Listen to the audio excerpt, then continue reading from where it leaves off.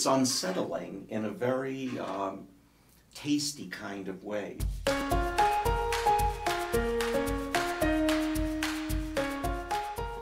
Hello there, I'm Kim from Ingram, and this is Mike from Poisoned Pen Press, and we are here to talk to you guys today about Crossing the Lines. It's a new mystery book coming out August 1st from Poisoned Pen, and tell me about it a little bit. Well, this is a very different kind of mystery. It's so different that it's almost unique.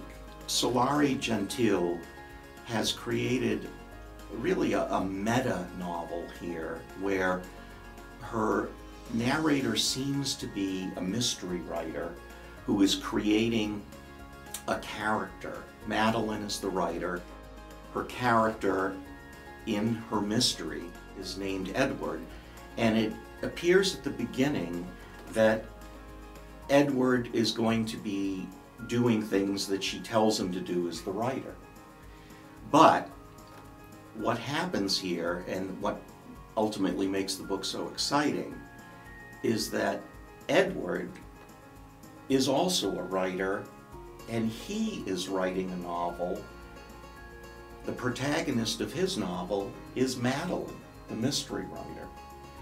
So very soon it's established that both of them have created the other one as their character and the stories merge. The point is more the process of creation.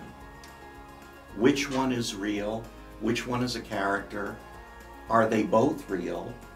Are they both just characters?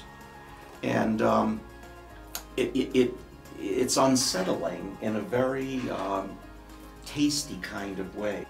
Sounds fantastic. Can't wait to read it.